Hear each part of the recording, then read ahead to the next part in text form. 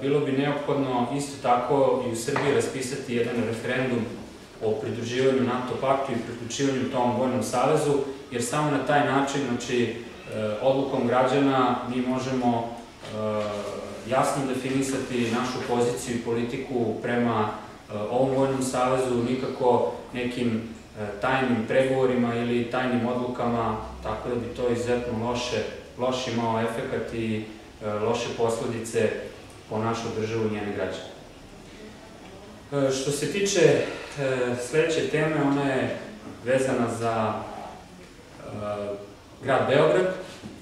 Mi smo u petak reagovali na hapšenje Gordane Matijašević, podpredsednika gradskog odbora i bivšeg direktora javnog komunalnog preduzeća Beogradske pijace.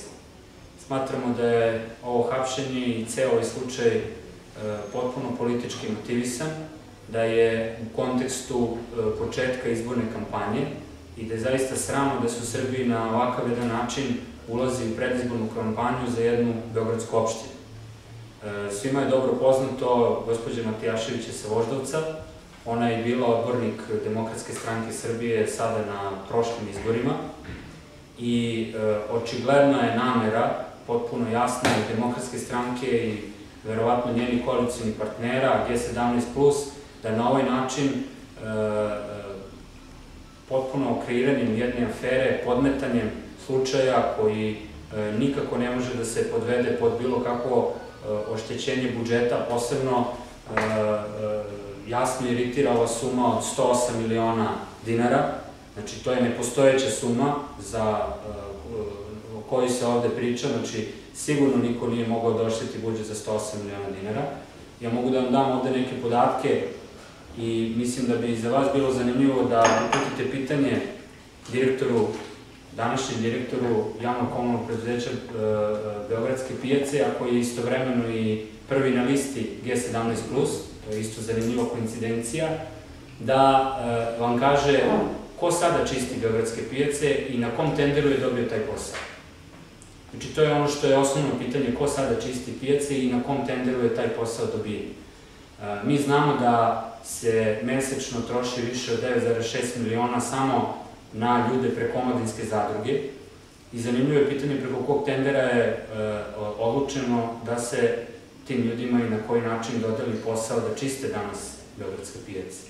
Ono što e, je zaista loše danas e, u ovom trenutku za Srbiju da se na ovakav način političkim progonom, pravljenjem zaista afera posebno opozicija i opozicijone stranke, a Demokratska stranka Srbije tome najviše izložena u zadnjih godinu dana, stvara jedna e, klima e, u Srbiji da e, opozicija treba da bude progonjena, da na ovaj način ih treba zatvarati i samim tim diskvalifikacijom, ovakvom vrstom progona minimalizovati i potpuno i smanjiti bilo kakav uticaj i glas. Mi naravno nećemo na to pristati, Gordani, Matijašić je određen pritor do 30 dana.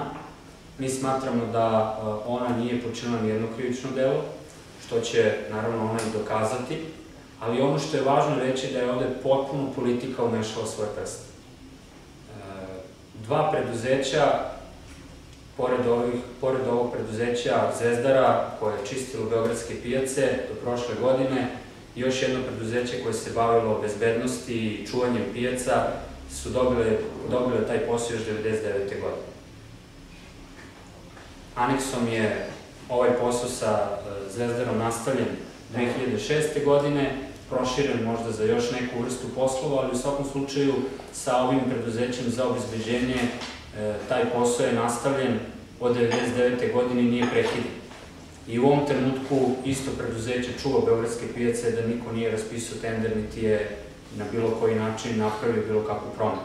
Znači, to samo govori o tome da je ovo potpuno jedna politička motivacija da se e, iz jednog posla napravi afera i da se na taj način diskredituje posebno Gordana Matijašević koja je osam godina uspešno vodila Beogradske pijace, bila jedan od najboljih menadžera u javnom sektoru, zašto je dobijala i nagrade od privrednih komora, da se na taj način jednom diskvalifikacijom i nje i same stranke uđe u kampanju sa nekom prednošću i da se nešto što ne može da se dobije glasom građana dobije na ovakav način.